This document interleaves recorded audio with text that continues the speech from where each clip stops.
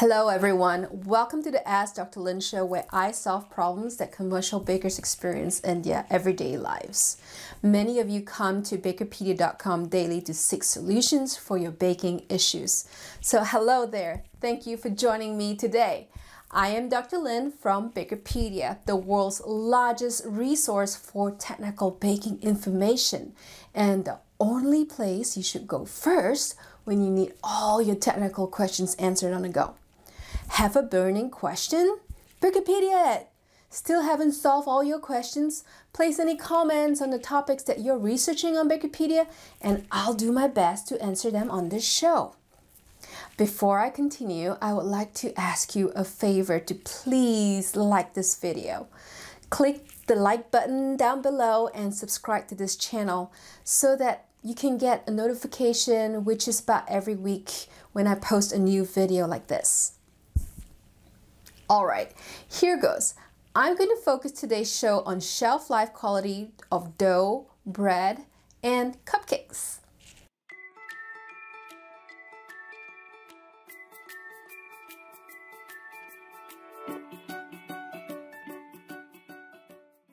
Naan is an Indian flat bread that requires little fermentation and stales really fast due to the high heat treatment. Therefore, Naan is a lower moisture product with a higher pH. If your naan is molding faster than you expect, there are parameters on this page to help you figure it out. Don't forget, placing in preservatives like cultured wheat is only part of the solution. You really need to sanitize your surroundings and make sure that you package your naan as soon as it reaches an internal temperature of 100 degrees Fahrenheit or no longer than 30 minutes at room temperature.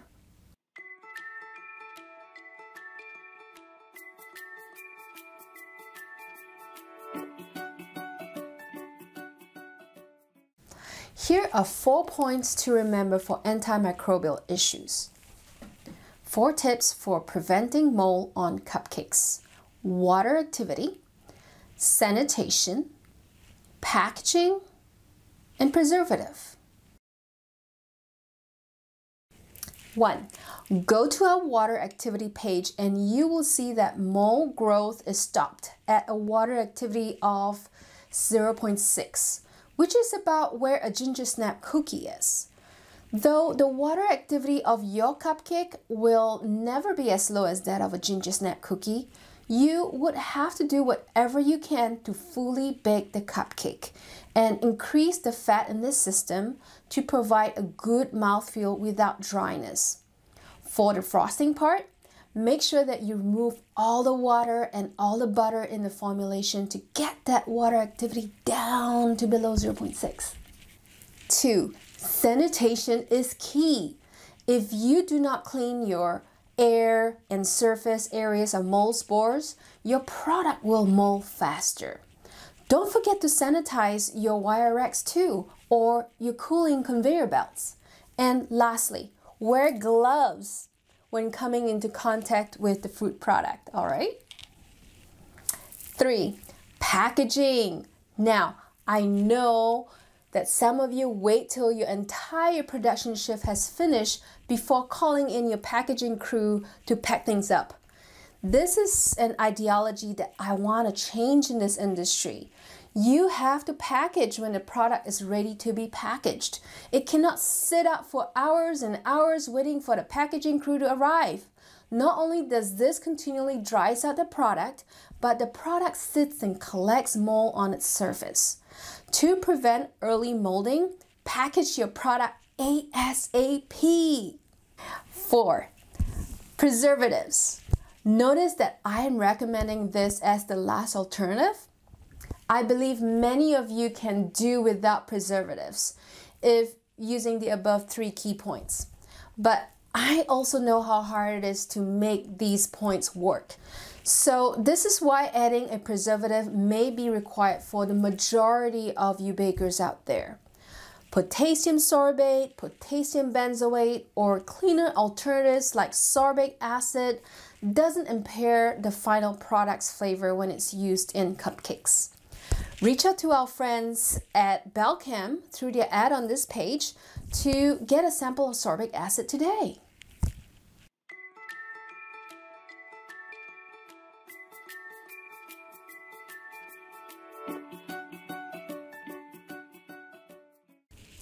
It sure can.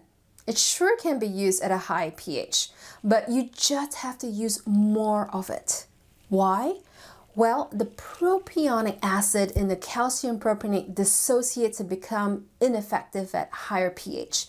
You have to use two to three times more Calpro to make it effective. This is mainly because you are destroying it at a higher pH. So go to our CalPro page and you will learn that at an acidic pH, which is caused by longer fermentation or by adding an acid, CalPro keeps its form intact and effective. Therefore, you will see that you will need less CalPro at a lower pH.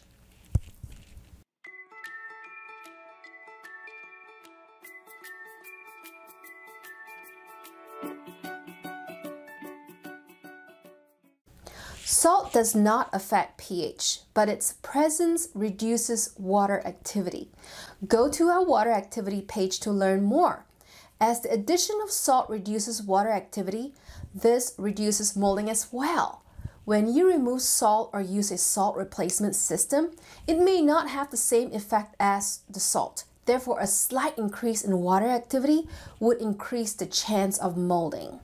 And that's probably what you're seeing. So what do you have to do if you want to replace salt in your system? Well, increase the amount of solutes in your system by adding in more fiber, sugar, humectants, or gums, and pick out the moisture in your bread. Or increase the propionic acids in the form of cultured wheat in your system. So, good luck.